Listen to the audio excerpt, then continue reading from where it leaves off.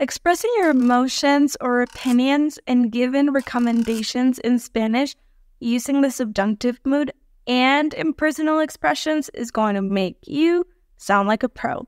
So make sure to stick around.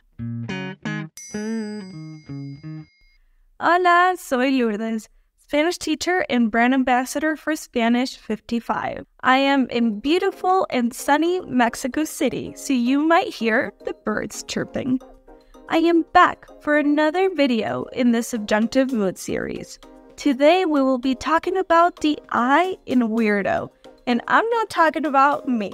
As you may remember from this video with brand ambassador Andrea, we may use the acronym weirdo to remember when to use the subjunctive.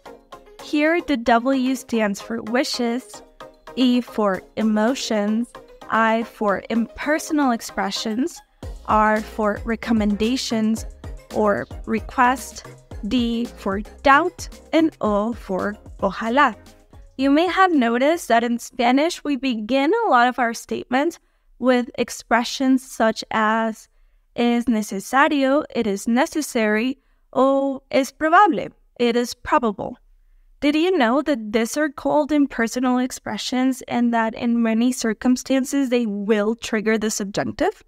Impersonal expressions, like the name suggests, do not tie to a specific subject or person, rather to an impersonal pronoun like it in English.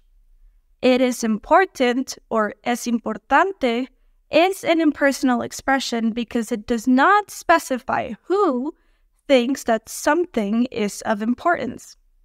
Some other impersonal expressions are es absurdo, it is absurd, es preferible, it is preferable, es cierto, it is true, or es obvio, it is obvious.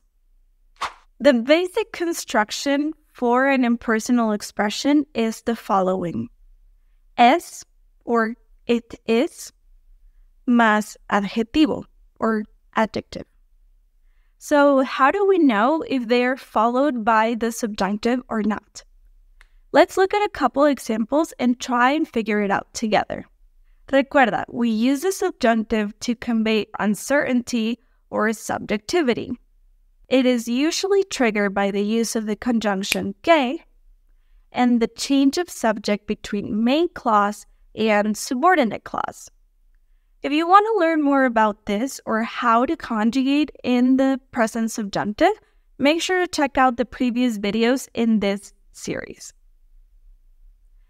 Now, pay close attention to the following sentences. Es importante leer las noticias es importante que leas las noticias. Es cierto que es importante leer las noticias. No es cierto que sea importante leer las noticias. Let's look at the examples closely. First we have, es importante leer las noticias. It is important to read the news. Here, the impersonal expression es importante is followed by the present indicative of the verb leer. But if we look at the next example, es importante que leas las noticias. It is important that you read the news. The same impersonal expression is followed by the present subjunctive. But what else do you notice that's different? Good we added the conjunction que, and there is a reference to a specific subject or person in the subordinate clause. Es importante que tú leas las noticias. So from this, we can begin constructing our basic rule. If the impersonal expression is followed by the conjunction que, and there is a reference to a specific subject in the subordinate clause, it will trigger the subjunctive. So, for example, es fantástico que viajemos tanto. It is fantastic that we travel so much. Es preferible que llegues temprano. It is preferable that you arrive early. Some other impersonal expressions that will be followed by the subjunctive are Es extraño que. Es bueno que. Es interesante que. Es lógico que. But as always, there is an exception to this rule. Regardless of if the impersonal expression is followed by the conjunction que, or if there is a reference to a specific subject in the subordinate clause, if the adjective in the impersonal expression conveys certainty or a truth, it will be followed by the indicative unless it is negated. Let's look at the remaining two examples. Es cierto que es importante leer las noticias. Here, the impersonal expression is cierto conveys that we know this to be true. Therefore, it is followed by the indicative. It is true that reading the news is important. However, if we negate this statement, it will be followed by the subjunctive. No es cierto que sea importante leer las noticias. It is not true that it is important to read the news.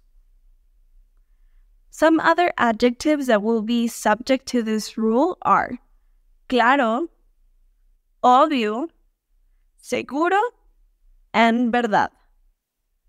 Let's look at other examples. Es verdad que el español es fácil. O no es verdad que el español sea difícil. This is what you will be saying if you study Spanish with us. Our team of coaches at Spanish 55 is ready to help you create a personalized plan to achieve your specific goals. So make sure to check out the link in the description to book a free consultation today. If you like this video, give it a big me gusta, subscribe to our channel, and come back for more. Make sure to leave a comment with any questions that you may have or suggestions about what we should study next. Hasta la próxima!